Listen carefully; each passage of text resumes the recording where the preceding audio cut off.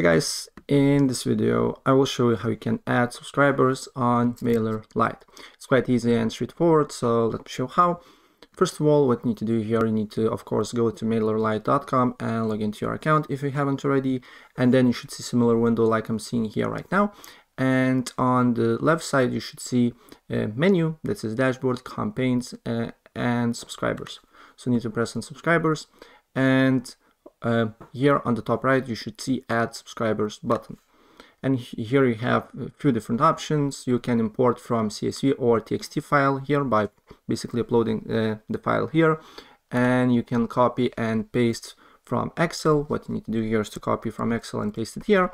Uh, you can add subscribers one by one basically just by putting email and name and just press by add subscriber.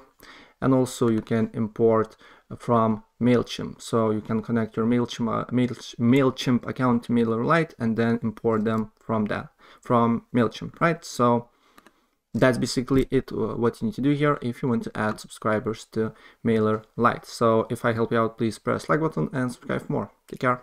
Bye.